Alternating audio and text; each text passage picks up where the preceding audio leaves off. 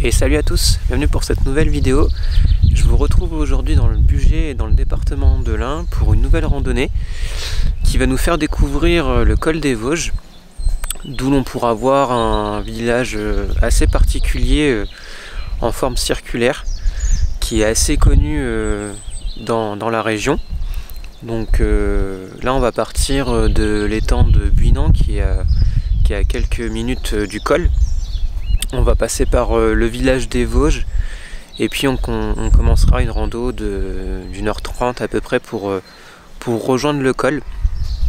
Si vous voulez directement aller au col et profiter du point de vue, vous pouvez euh, vous garer près du col où il y a un parking aménagé.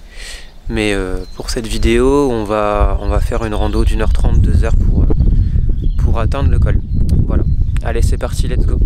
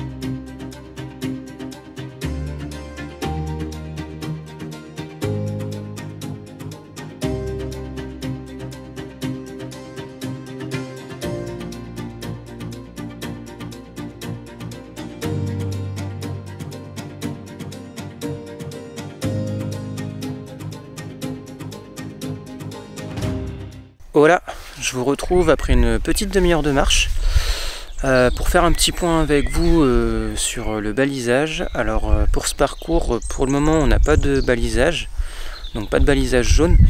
On a en revanche, à partir du moment où on, s'éloigne de l'étang et de l'église, on a des, des, panneaux qui indiquent la direction de l'air d'envol de parapente et c'est la direction qu'il faut suivre.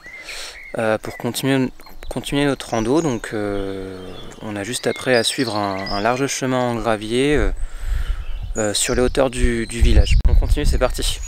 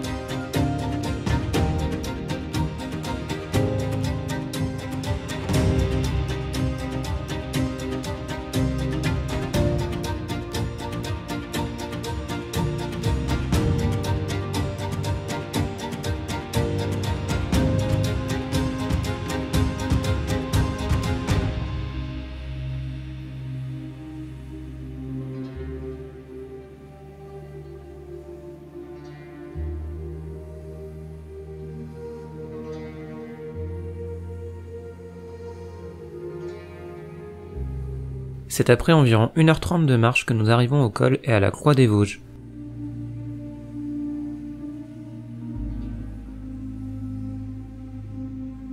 À un peu moins de 800 mètres d'altitude, une très belle vue se dégage depuis la croix. On pourra notamment avoir une vue dégagée sur la vallée de l'Albarine, mais aussi sur le mystérieux village d'Oncieux, qui interpelle de par sa forme circulaire. Surnommé le diamant du budget, les maisons du village auraient été construites en rond autour d'un ancien verger central appartenant au seigneur d'Oncieux.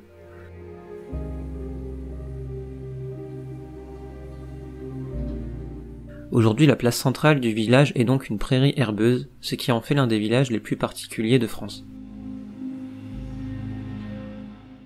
Voilà, je vous retrouve après avoir fait une belle pause à la Croix des Vosges, d'où l'on peut voir euh, le, joli village d'Oncieux, donc euh, qui a une forme circulaire qui le rend assez atypique. Donc globalement c'est une rando qui est vraiment sympa. c'est très calme, les sentiers sont clairs à suivre même s'il n'y a pas énormément de balisage présent. Les, panneaux qui sont en place suffisent à bien se repérer. Donc ça c'est plutôt sympa et puis c'est vrai que c'est une rando qui est pas trop difficile, 1h30, 2h de marche, tout à fait adapté aux familles et il y a des beaux points de vue et dans le même temps il y a pas mal de coins pour pique-niquer, que ce soit euh, euh, en bordure de falaise quand on se rapproche de la croix des Vosges ou alors aussi euh, au niveau de l'étang où il y a pas mal de tables de pique-nique donc ça peut être sympa de faire cette randonnée en famille aussi. Voilà. Donc pour cette fin de parcours, euh, bah, il nous suffit de descendre la route euh, sur quelques centaines de mètres pour rejoindre euh, l'étang.